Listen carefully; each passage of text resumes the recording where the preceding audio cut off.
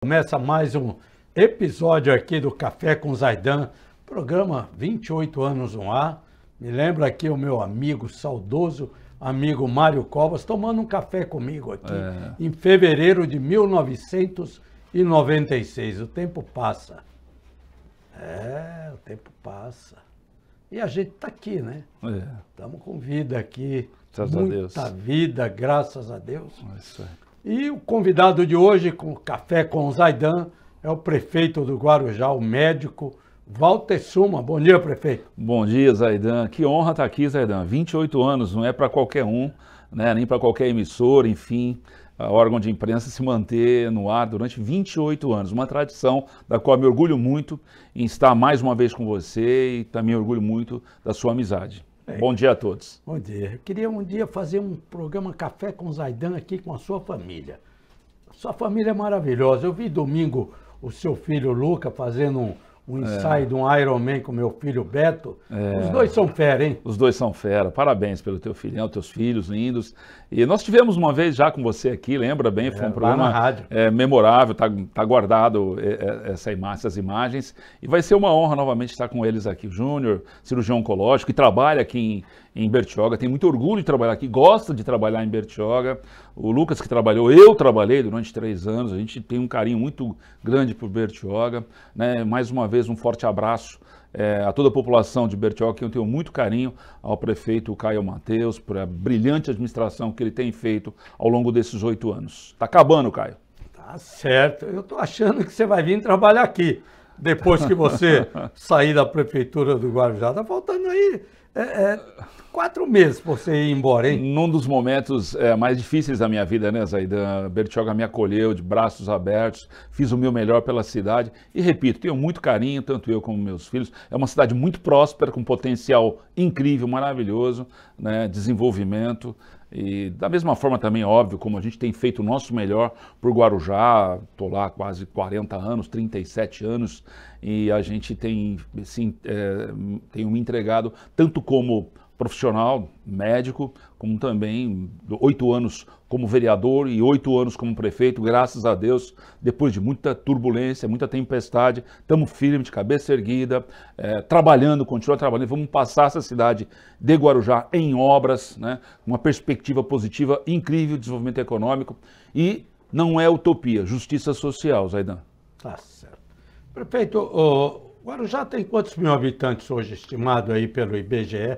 Mas o IBGE sempre põe para baixo um pouco. Mas assim, numa real, quantos mil habitantes tem Guarujá? eu acredito muito que está em torno de 300 mil habitantes, viu? O IBGE apontou em torno de 200, 289, mas assim, a expectativa, a, a, a leitura que eu tenho pelas andanças, enfim, pela, pe- pela eh, impressão óbvia que a gente tem, agora já está batendo mais de 300 mil habitantes hoje. Mais de 300 mil habitantes. Eu fui um crítico com relação aos números ofertados pelo IBGE no último censo. Certo. Aliás, eh, a meu ver, incompatível com a verdadeira realidade populacional de nossa cidade. O, o, o senhor foi prefeito durante a pandemia, né? Estava lá iniciando o seu segundo mandato, bem no período pandêmico, né?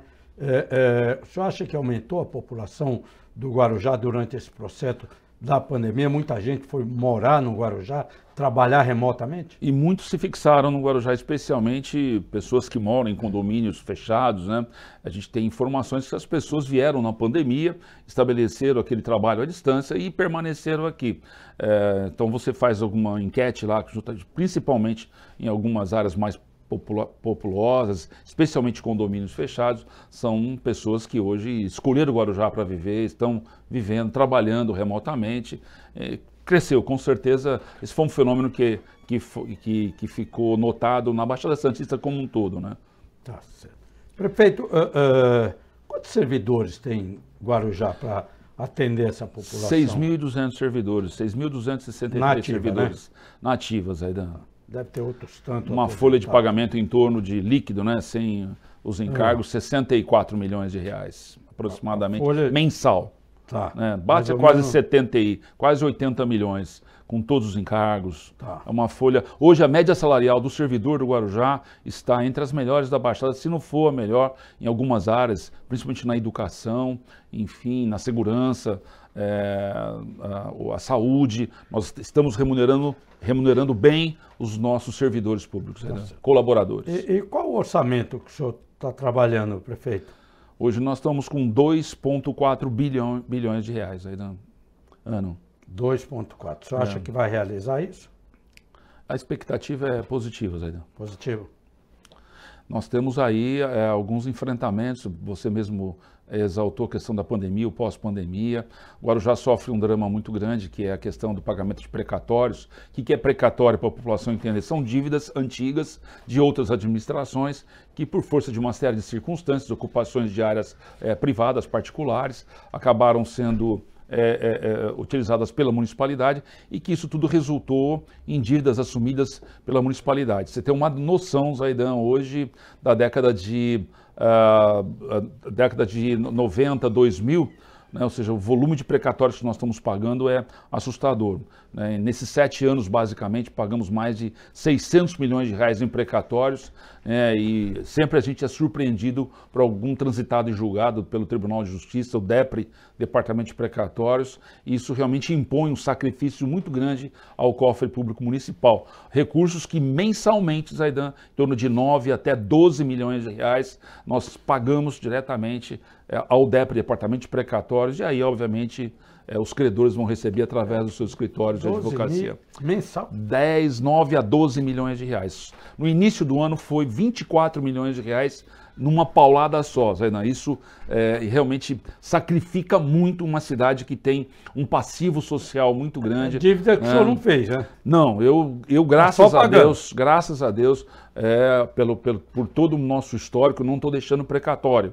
né? Ou seja, é nosso, nosso AGM, Controladoria, enfim, a, a Procuradoria, o que nós estamos pagando é conta do passado. Isso sacrifica muito investimentos que poderiam ser feitos na educação, na saúde, enfim. Independente disso, nós não paramos, Aidan. Mais de 100 milhões por ano de precatório. É isso daí, essa é a média nesses sete anos é, e meio, 100 milhões de reais por ano de precatório. Olha isso tudo dentro do, do cofre. Hoje, Guarujá, se salvo engano, é uma das. tá- está entre as cinco cidades que mais paga precatórios do estado de São Paulo e uma das maiores do Brasil até. Caramba. É, realmente judia bastante, é, um- é um, é um- impõe assim uma, um- uma, uma dura, é, um, um duro enfrentamento à- à questão inteligência financeira nossa, orçamentária, e a população não quer saber de precatório, a população quer o médico, quer o remédio, é, é, quer o, o subsidiado, o ônibus, a população quer uma cidade mais iluminada, mais limpa, quer alimentação, isso tudo a gente tem se dedicado para poder ofertar à população esse dia a dia. Além de uma série de, de obras de infraestrutura que eram para ter sido realizadas no passado e nós, vamos estamos fazendo. aí. Eh, Prefeito, o, o senhor tem uma dívida ativa muito alta lá. O senhor deve ter hoje eh, uma inadimplência de quantos por cento em relação ao que é previsto receber? Qual Bom, a a, sua dívida- a nossa inadimplência? dívida, nossa dívida Não, ativa a hoje, inadimplência hoje, quanto é? Aproximadamente quanto? Uns Eu não- 20%? 20% aproximadamente, está em torno de 15% a 20%. Dívida ativa, Zaidan, nossa, que foi mal cobrada no passado, está em torno de 9 bilhões e meio de reais. Infelizmente, metade desses valores, é- nós não temos condição de fazer a cobrança efetiva. É mas efetiva isso? nós 9 tam- bi ou tem muito podre aí? Muito, então, metade é podre hoje, metade deixou de ser cobrada, é o que eu estou falando. Né? Ou seja, Não foi isso tudo- ajuizado nada. Não foi, perdemos muita oportunidade de cobrança. Hoje, para ser cobrado efetivamente viva, né, em condição de ser cobrado, está em torno de 4,5 bilhões de reais. E nós estamos fazendo, Zaidano, uma medida, vamos dizer, quase que heróica, aquilo que algumas cidades já estão adotando, que é a securitização da dívida ativa. É uma forma de entrar recurso no nosso caixa para que nós possamos honrar, obviamente, primeiro, com todas as demandas que nós temos no dia a dia, honrar com os nossos prestadores, né, com a nossa folha de pagamento, que é considerável, o dia a dia de uma cidade. É, a gente acredita, esse projeto de lei deve estar indo para deve estar indo para a Câmara na próxima, próxima semana para votação.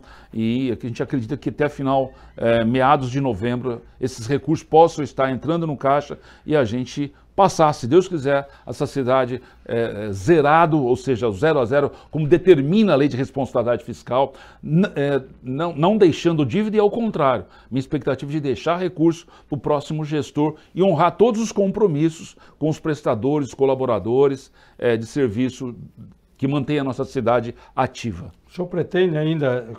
Eu estava falando esses dias com o prefeito de Ribeirão Preto, Duarte Nogueira, também ele está indo nesse processo de securitização da dívida. O senhor pretende ainda efetivar essa securitização este ano? Esse ano, é isso que eu falei. e receber quanto ainda esse ano? 900 milhões de reais. Ainda uma expectativa muito otimista. Desses 4 esse ano, esse ano. Essa é uma expectativa otimista dos nossos, dos nossos técnicos lá, Secretaria de Finanças, do pessoal que está trabalhando de maneira bastante forte na questão da securitização da dívida ativa.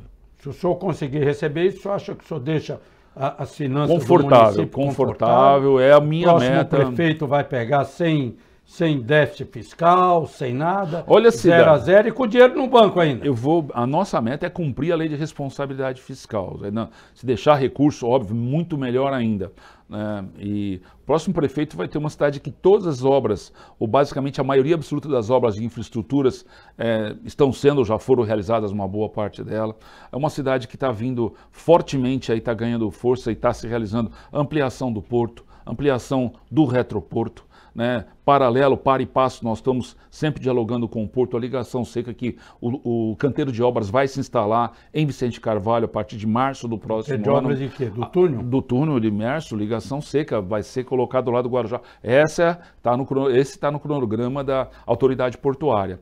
E também a, a segunda fase da perimetral, para segregar de vez a movimentação de cargas. Guarujá é uma cidade portuária, é uma cidade linda, turística, como é Bertioga, né, uma cidade que tem 27 praias, 26 balneáveis, o Perequê vai se tornar balneável aos poucos, obras de saneamento já estão sendo realizadas, esgotamento sanitário. Então você tem ampliação do porto, retroporto, você tem o aeroporto civil metropolitano, as obras que a via expressa que liga até o aeroporto estão sendo, é, já está, está em curso. A segunda fase da perimetral, como eu disse, retirar as pessoas que vivem em condição de é, habitação indigna, que é palafita. Eu, como médico, visitei essas famílias durante 15 anos, basicamente toda a minha vida, através do, do CIAD. Então, porto, retroporto, aeroporto, ligação seca, segunda fase da perimetral, prolongamento da Dom Pedro, que as, as obras iniciais já estão, já estão basicamente quase conclusa. Você tem a revitalização da hora, os viários de entrada da nossa cidade, retomada da atividade de apoio a plataformas de petróleo é, e gás, né, pela, pela Saipem lá no SING. Ou seja, olha a expectativa, o ISS, Zaidan, do Guarujá, a expectativa é que em três anos supere o IPTU, que hoje é a principal fonte de arrecadação do município. Tá certo. A gente vai fazer um pequeno intervalo aqui com o prefeito do Guarujá, Walter Suma. A gente volta já já, num minutinho aqui, o Café com o Zaidan. Programa bom, danado, 28 anos. Ontem teve aqui o vice-governador Felício Ramucha aqui conosco. Hoje o prefeitão do Guarujaí. Obrigado. Minutinho a gente volta.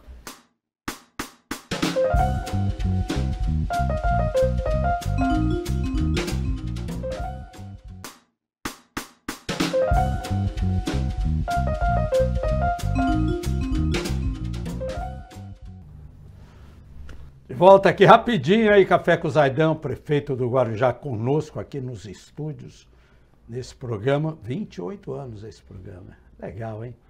Sei não se não vai acabar, hein? Não. Vai continuar aí. Prefeito, é, é, o senhor pegou o Guarujá aí em janeiro de 2017, vai entregar aí em dezembro de 2024, né? Cumprindo aí os seus oito anos de mandato é, é, algumas coisas que o senhor pegou, alguns esqueletos, o senhor não vai conseguir realizar, né? Por exemplo, o viário da cidade, a entrada da cidade. Como é que o senhor consegue deixar alguma coisa estruturada? Os projetos. Hoje eu vou no outro, depois eu vou é, no outro. Mas vamos entrar é, os projetos já estão bem trabalhados pelo nosso planejamento e, inclusive, já tivemos várias reuniões em Brasília, no Ministério do Desenvolvimento Regional, né, com o, o, o secretário Benini do Estado. É, está na nossa pauta, existem já os projetos já elaborados, prontos para ser colocado em prática. O, o, nós temos que buscar agora recursos, Aidan.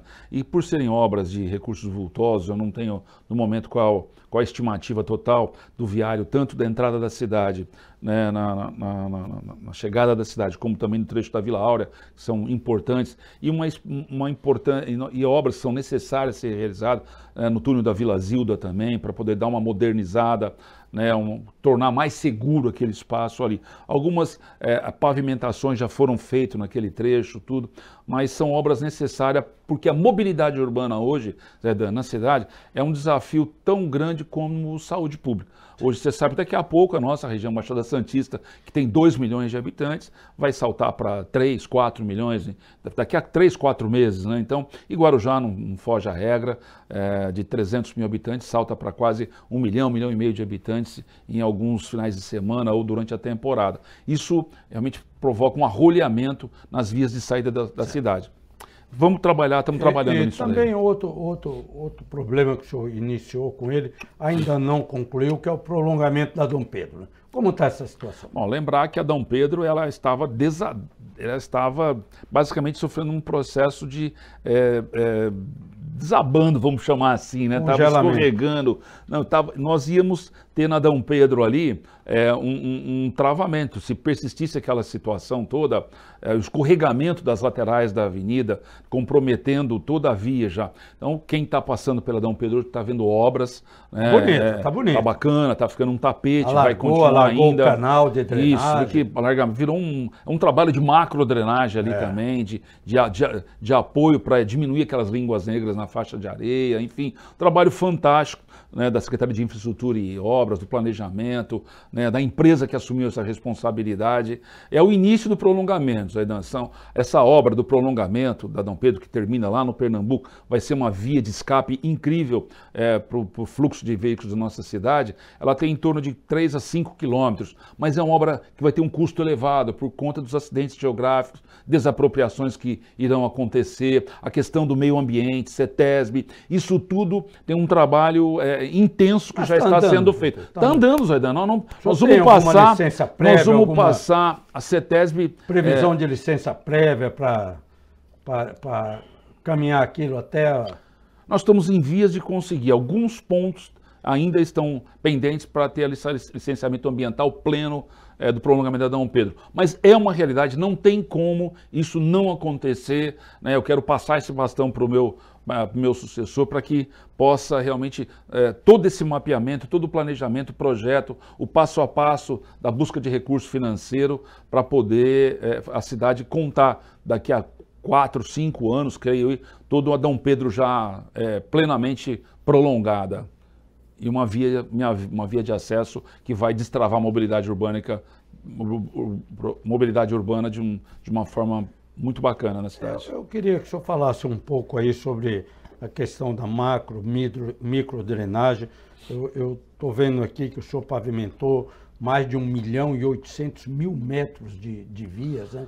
É, é, mas antes de pavimentar, vem todo um trabalho de é, macro drenagem, micro drenagem. Eh, aquela, tem uns piscinões que o senhor está fazendo ali, a Santa Rosa, Santo Antônio. Eu queria que o senhor citasse um qual, pouquinho nisso, desses investimentos e o volume desses investimentos. Qual, qual o grande problema é, que Guarujá havia enfrentado desde o início do meu mandato? No segundo dia de mandato eu já estava vivenciando isso, já, já o conhecia até é, como médico, como vereador, enfim, enchentes, Aidan, é o combate às enchentes. No dia, basicamente no dia 1 de janeiro, dia 2 de janeiro de 2017, nós criamos um comitê de enfrentamento e combate às enchentes do município. Dessas reuniões é, emanaram então ideias e planejamentos para que nós fizéssemos um grande projeto de drenagem. Cidade é uma ilha, Zaidan, Guarujá é uma ilha. Existem bairros que estão até abaixo do nível do mar, né? Santo Antônio, Santa Rosa, enfim, Jardim Primavera, é, Mangue Seco. Isso tudo, quando chove demais e não há uma drenagem, e não há uma, uma drenagem é, é, é eficaz é, dessa água para o mar, em virtude desses dois componentes, seja tanto seja tanto a questão da drenagem, como também da precipitação de chuva ou acúmulo, obras de macro drenagem, não só de macro, médio e micro drenagem. Micro drenagem eu falo que é desassoramento de canais, limpeza de bocas de lobo. Nós temos 125 quilômetros de canais é, é, em Guarujá hoje. Então, e esses piscinões, são três piscinões, Santo Antônio, Santa Rosa, uma obra grandiosa, em torno de até 240 milhões de reais estão sendo aplicados. São obras subterrâneas, mas alguém tinha que fazer. Se você é, vê o manilhamento antigo da cidade, fino, sujo, obstruído, entupido, velho, nós arrancamos aquilo tudo e trocamos por tubulações novas. São imagens fantásticas que a gente tem nos nossos arquivos para mostrar para a população. Era necessário a drenagem. Aliás, não se faz recapeamento, não se faz pavimentação sem que esteja uma drenagem efetiva. Isso é uma obra de infraestrutura. Infelizmente, sabe-se, né, já dá na é, no, no, no, alegórico popular de que fazer obra que ninguém vê debaixo da terra, ninguém gosta de fazer. Tá? Mas nós fizemos, Zaidan, até porque é, enchente, Zaidan, eu já vi, em, como médico de UTI, infelizmente, eu já vi muita gente, por exemplo, evoluir a óbito é, por leptospirose, por exemplo, e outras Sim. doenças infecciosas causadas pelas enchentes. Tá aí, as obras estão acontecendo. É, basicamente, nós temos mais de 400 obras de infraestrutura, pavimentação, macrodrenagem, contenção de encostas, mirantes, enfim, é uma somatória de ações de infraestrutura que são necessárias para a gente poder garantir né, um terreno fértil para o desenvolvimento. Né? O prefeito, o senhor fala micro, macro drenagem, é, é pavimentação. É, quanto o senhor investiu ao longo desses sete anos e, e, e oito meses de mandato? Em torno de, em obras de infraestrutura, aproximadamente 340, 360 milhões de reais. Aí, né? São recursos via Finisa, recursos de, é, em que, do, do, governo federal, governo do estado, contrapartidas do município. Né? São, são reivindicações por parte da população e enfrentamentos que nós tivemos que fazer né, para poder melhorar a qualidade de vida. Hoje as pessoas, por exemplo, que moram no bairro Santa Rosa, é, não se lembram mais. Por exemplo, ali na igreja Santa Rosa de Lima, por exemplo, ficava, ninguém conseguia entrar na missa, ficava água ali um metro de altura. Hoje pode chover, né, ou seja, é, aquela drenagem é rápida, é, por mais forte que seja a chuva, a drenagem tem sido rápida. Então, assim, isso tudo amenizou bastante, basicamente em alguns pontos solucionou o problema do enfrentamento das enchentes no município. Tá. Prefeito, esses dias eu estava almoçando com o Mini lá em Santos, eu, ele e o Mahomed, e a gente estava falando do porto, os investimentos que, o, que o, o, a autoridade portuária vai fazer no porto, na, na Baixada Santista. E pela análise que eu fiz, o Guarujá é o que vai receber o maior investimento e a maior expansão portuária está prevista para o Guarujá, aumento de Dárcenas, né? A hora que você remover aquelas famílias ali do Conceiçãozinha, tirar para uma habitação mais decente, que você falou, Palafita, vai ter uma expansão muito grande. Também vai ter uma expansão por conta até do túnel também. Os canteiros vão ficar ali. E em termos de área retroportuária, Guarujá é que está melhor que Honrada. Guarujá tem ali uma área retroportuária de mais de 5 potencial de mais de 5 milhões de metros quadrados. É isso mesmo. Tá? É, é, é, se hoje o, o, Guarujá tem um orçamento aí de 2,4 bi, eu acho que a hora que essas obras estiverem prontas, daqui a 4, 5 anos, provavelmente, sei lá quando, mas vamos dizer uns 5 anos, 2029. Guarujá vai, vai dobrar o seu orçamento, vai ter mais de 5 bi de orçamento. A expectativa é, a, a previsão é exatamente essa. Nós temos Guarujá é, a margem esquerda do complexo portuário da Baixada Santista, Guarujá, o Porto do Guarujá, vamos ser ousados em chamar aqui o Porto do Guarujá, é Porto tem 1.200 metros para ser ocupado ainda, Zedan. É o espaço, é onde o Porto, é para onde o Porto pode crescer. E obviamente alguns terminais portuários, como Santos Brasil, TEG, TEAG, TGG, é, enfim, é, Local Frio, tem um interesse muito grande em ampliar esses espaços. Né? Hoje nós temos uma movimentação de cargas em torno de 4 a 5 mil caminhões todo dia que transitam principalmente pela Rua do Adubo em direção ao porto. Então a riqueza da movimentação é, de cargas da margem esquerda não resta a menor dúvida, mas não dá para ampliar e ocupar aquele espaço enquanto tiver aquela população vivendo em condições de quase miséria extrema ou de, ou de miséria extrema que é viver numa palafita.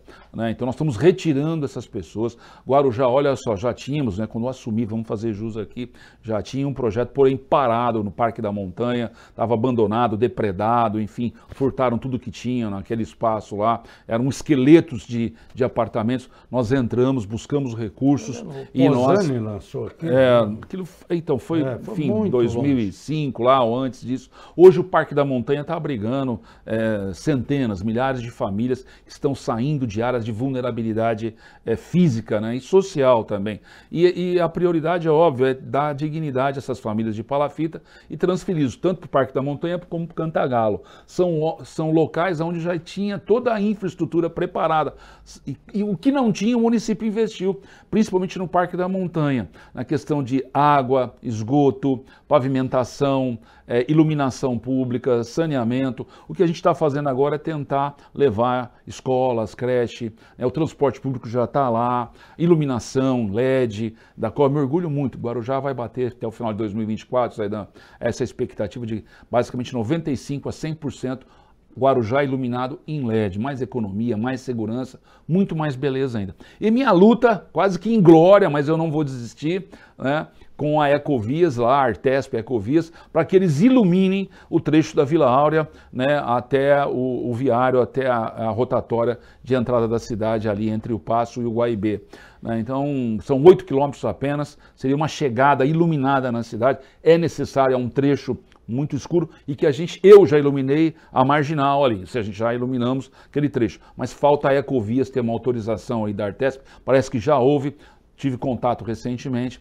Então, Zaidan, é- é- esse é um, é um quadro, o a, a potencial de expansão do porto e do retroporto, 4 milhões e meio de metros quadrados, área privada, retroporto, tem uma pequena área da municipalidade, mas que virou um alvo de negócio, até porque o plano diretor prevê a zona eh, de processamento, a ZPE, Zona de Processamento Exportação. É a empresa que vem para cá, eh, eh, eh, produz o seu, o seu material aqui e, muito próximo ao porto, encaminha eh, eh, essa mercadoria para o exterior. né? Então, isso vai gerar muito mais emprego. E o que você falou, a expectativa é que nós possamos dobrar o orçamento até 2030. Bastante coisa. né?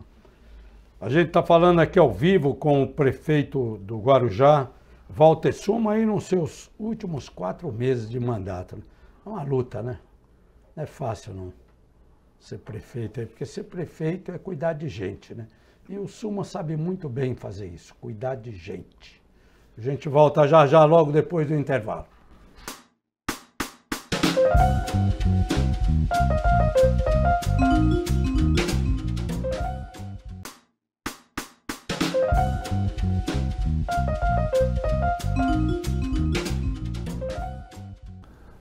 De volta aqui, o programa Café com Zaidan, programa bom danado, hein? Se durar, vai chegar nos 29 anos, vamos ver, né? 30. 28 já fez. Vamos ver se chega nos 29 aí. Com o prefeito do Guarujá, o médico Walter Suma, né? Eu digo que ele sabe cuidar de gente, né? E é sobre gente, cuidar de gente, que eu vou falar com ele. É. Prefeito, o, o- eu gostaria que o senhor citasse alguns investimentos na saúde, o que melhorou na saúde do Guarujá. Bacana, Zaidan. É muita, foram muitos avanços, né? É, primeiro, lembrar que 95% da nossa população depende do SUS, Zaidan.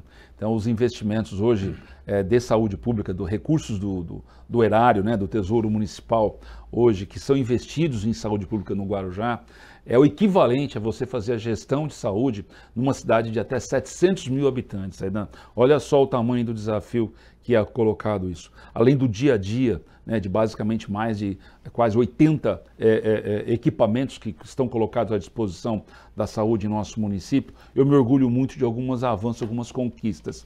Né, eh, entre elas, Zaidan, a ampliação do número de leitos de UTI. Eu fui médico intensivista e vivi a época que Guarujá, para quase vai, 250 mil habitantes, tinha apenas 10 leitos de UTI. Hoje, Zaidan, nós tivemos um, um avanço de mais de 160%. Nós saltamos hoje para basicamente 52 leitos de UTI município de Guarujá. Então, aquele drama que familiares e pacientes viviam, pode até ter, Zaidan, até porque quanto mais portas você abre em saúde, mais ela vai ofertar. Então, ampliação do número de leitos de UTI é uma realidade hoje.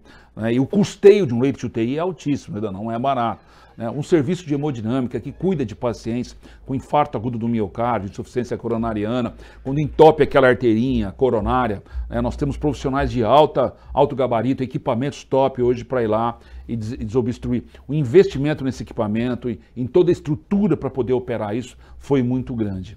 Né? E nós estamos ampliando as nossas alianças, né? as nossas parcerias. Lembrar que nós investimos na UPA rodoviária, montamos uma unidade de 16 leitos de semi-intensiva na pandemia que opera até hoje, ampliamos em mais 28 leitos de enfermarias também na UPA. E o tempo todo, Zaidão, o custeio, a saúde não tem preço, mas tem custo. É aquilo que eu sempre falo. Mas também investimento em reformas de unidades de pronto-socorro, unidades de pronto atendimento, né? Unidades de saúde da família, isso tudo para dar um acolhimento, humanização. Humanização e acolhimento é a palavra-chave. Quanto mais as pessoas procuram, óbvio, nos colocam mais à prova ainda.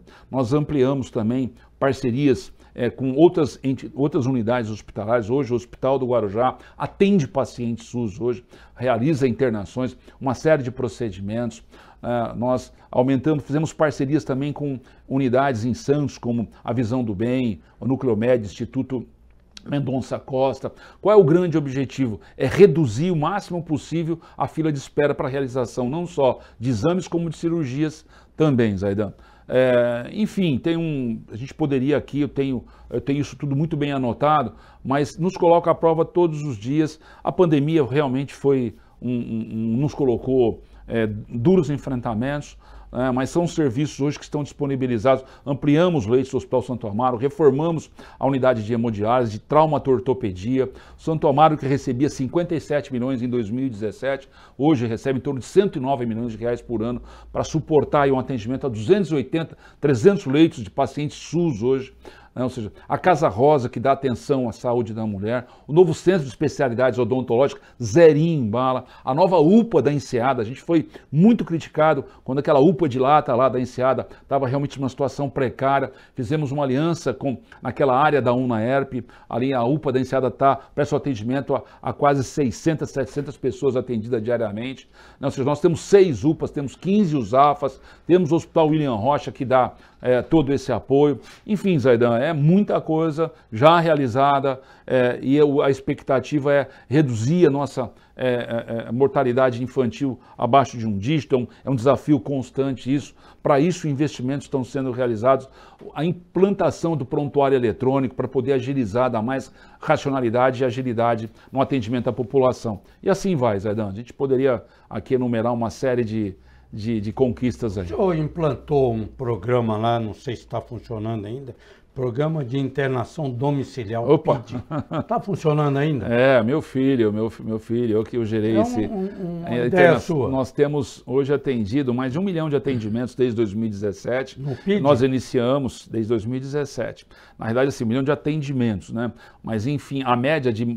Nós começamos com um projetozinho piloto em, em 1998, quando eu comecei, na, no CIAD, hoje CIAD, Internação Domiciliar, é, com 15 famílias. Hoje são 350, 370 famílias acompanhadas mensalmente. São pessoas que têm todo o suporte na sua residência. Ficam em casa e, e a medicina vai até. Vai médico, vai enfermagem, vai fisioterapeuta, Legal, vai hein? psicólogo, vai dentista, tem suporte de oxigenioterapia, pequenos procedimentos curativos, administração de medicação, de vacina, é, é, é enfim, tem toda uma Sai orientação mais barato, hoje Sai, né? mais barato, é, mais é um, humanizado, muito também. mais humanizado, é melhor em Casa. Esse é o Programa Federal de Internação Domiciliar. Eu me orgulho muito quando eu iniciei e apresentei esse projeto junto com Santos e Campinas. O governo federal, na época, eu não me lembro o ministro, não lembro se era o Serra, adotou, implantou o governo federal. Então as equipes são montadas. O CIAD hoje é um orgulho para a cidade.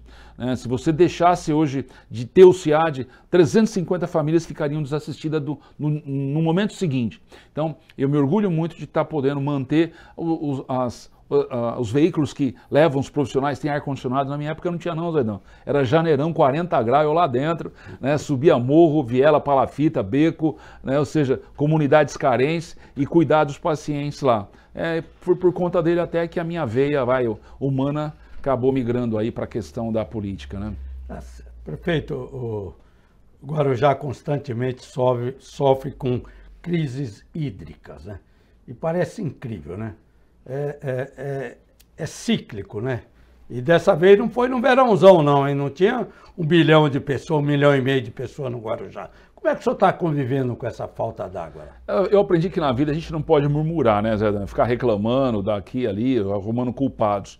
Eu regacei as mangas desde o início e fui para cima da Sabesp, tenho cobrado duramente. Duramente quer dizer, é, com muita ternura, vamos deixar assim, com respeito aos profissionais da Sabesp, a quem sempre estão me atendendo, é, sempre é, prontamente e com, e com muito carinho. Né? Mas é um problema grave hoje a Baixada Santista, creio que Bertioga, São Vicente, Santos, numa menor proporção, Praia Grande, sofre os, as consequências dessa estiagem, que é uma das piores, salvo engano, nos últimos 50 anos, segundo a imprensa está notificando.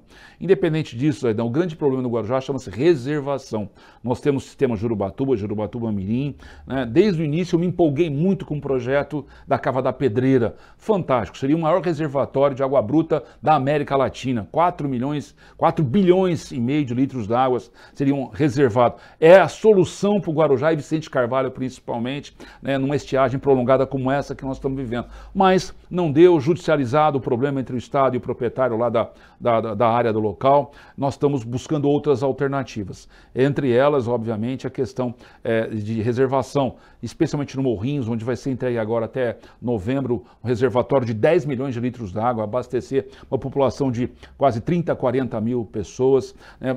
Ampliamos sempre cobrando da Sabesp medidas alternativas, né, a captação do Rio Trindade, logo logo Cabo Sul, Caeté, também para poder potencializar e também outros, ao, ao mesmo tempo, Zé que a gente busca ampliar nossa reservação, lembrar que Guarujá conviveu com a Sabesp por mais de 30 anos sem contrato, sem qualquer segurança jurídica. Uma das primeiras ações que eu fiz foi elaborar um contrato com a Sabesp já em 2018. Isso proporcionou um ganho de ações muito grande com obras do Moarama, Perequê, por toda a cidade, especialmente de esgotamento sanitário. É um programa de redução de perdas. O Guarujá vinha perdendo quase é, 500 litros de água por segundo, Zaidan. Então, é, toda troca de tubulação, expansão de tubulação, Assim que eu assumi, a primeira ação foi em Vicente Carvalho, ampliação. Se não fosse essas obras, ampliar o potencial de captação de reservação, a, as consequências seriam muito mais drásticas ainda. né? Ou seja, o prefeito não é o responsável é, é, é, é, é por todo esse trabalho. A prefeitura contrata uma empresa chamada Sabesp, de economia mista, né, para poder ofertar esses é, é, é, a água de boa qualidade à nossa população. Nós não estamos parando. É muito triste né, faltar água na torneira do cidadão. A gente fica muito. Basta você viver isso na sua própria casa quando isso acontece fica verdadeiramente um transtorno. E tudo que nós podemos fazer, estamos fazendo. Estive recentemente com Roberval Tavares, diretor de operações, a última semana, junto com a Secretaria de Planejamento, Secretaria de Governo. Né? Agradecer ao Papa aqui que fez essa intermediação. Agradecer a você, Zaidan, que foi através de você que a gente conseguiu essa reunião, caráter de emergencial, ao Caio Mateus também. Isso foi de suma importância para a gente. Uma travessia subaquática vai ser entregue é, até meados do, do, ano que vem, 500 litros por segundo, né, é, não me recordo agora de Santos, para Vicente Carvalho. Vai ser assim, uma mão na roda, ou seja, vai ser água na torneira das, das pessoas. Então, tudo isso, Zaidan, parte do princípio que você tem que ter determinação, boa vontade, uma boa relação para ofertar água de qualidade ao nosso povo. Eu quero, ainda nós temos aí dois minutinhos, queria falar sobre habitação, prefeito. A gente já falou tantas coisas, né? É, é, Guarujá tem um déficit habitacional muito alto. O senhor citou aí uma das alternativas, Parque da Montanha, o, o Barreira do João Guarda. Cantagalo. Aliás, do Cantagalo. E Morrinhos, prefeito. Foi destinado, aquele loteamento do Morrinho, foi destinado tá. justamente para a habitação popular. Mais de 1.900 é casos. Vai dar sequência aqui? Vai, já está. Tive contato recentemente com o CDHU. Né? Olha, nós temos uma área para ser implantada ali, é o Porto Belo, né? É uma área de. Pode, ali, ali tem a capacidade de quase 1.900 moradias, com toda a infraestrutura prontinha, né, ali na Antenor Pimentel, é, com ali de Martins Correia. Então é um espaço fantástico, uma área muito grande né, para poder é, a, a, habitação de interesse popular. É, isso tudo alinhado aos investimentos que nós estamos fazendo no Parque da Montanha, no Cantagalo, é diminuindo esse déficit habitacional. Nós produzimos, Aidan, em sete anos de mandato, muito mais né, entregamos muito mais unidades habitacionais do que os 20 anos que nos antecederam. Isso foi um recorde, seja na questão da habitação, além da regularização fundiária, é da escritura gratuita na mão das pessoas que muitos morreram até esperando esse documento para poder passar de herança, para poder negociar, enfim. E nós estamos fazendo mais de, hoje nós já temos mais de 5.500 escrituras entregues à população e prontas 1.644 moradias. Até o final do mandato há uma expectativa positiva de 2.544 novas unidades habitacionais. E não é qualquer unidade não, são unidades bem construídas, viu Zaidan? Bem, acabamento bom, um triplex lá no Cantagalo, com toda a infraestrutura, Zaidan. Legal. Prefeito, faz um antes e um depois. Antes do senhor ter assumido 1 de janeiro de 2017. Como o senhor vai entregar Guarujá agora 31 de dezembro de 2024. Eu me orgulho sim dizer, digo principalmente para os meus secretários, aqueles que é, estão comigo desde 2017, aqueles que permaneceram comigo, o orgulho que nós temos de, obviamente, entregar uma cidade muito melhor. Aliás, eu acho que esse é um dever de todo gestor público, sempre passar para aquele que irá sucedê-lo, né, uma cidade muito melhor. E muito melhor mesmo, viu, Zaidan? Se não dá para fazer tudo porque não tem estalar de dedo, não tem varinha de condão, mas nós fizemos o nosso melhor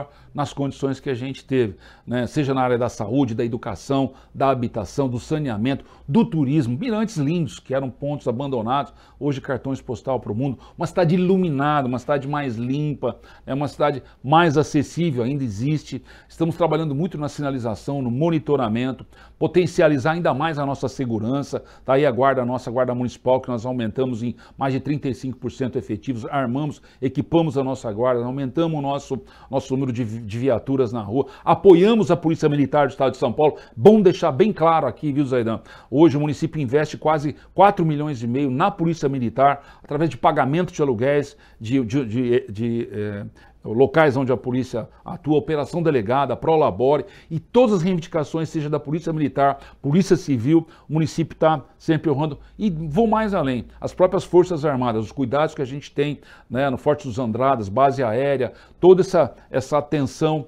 que a gente tem tido, uma boa relação.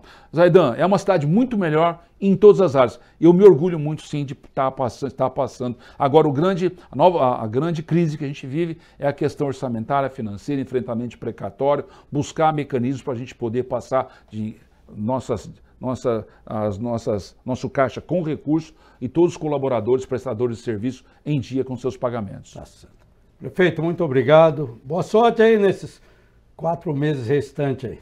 Graças a Deus, Aidan, estamos finalizando e vamos voltar. Voltar não, já retornei, reassumi minhas atividades profissionais, minha profissional médica no consultório, retomei meu ambulatório, se Deus quiser logo logo voltar nas rotinas de enfermaria, que é o que eu amo fazer, ser médico. E quem sabe, né, Zaidan, fazer aqui um, uns bicos aqui em, em Bertioga ou até fincar um pé a mais aqui. Gosto demais dessa terra. Um grande abraço a todos vocês. Obrigado. Um grande, uma grande pessoa, o Zaidan, tem um profundo respeito, né, uma relação muito fraterna. Tá? E fica aqui meu abraço. Zaidan, mais uma vez, minha gratidão a você. E a, a, aqui mais um abraço ao Caio Mateus, um grande amigo, um gestor também que está passando esse bastão, uma cidade muito melhor. Um abraço à belíssima Bertioga, toda a Baixada Santista. Tá Bom dia para vocês aí. Programa Café com Zaidan encerra aqui. Mas amanhã tem mais. Tchau.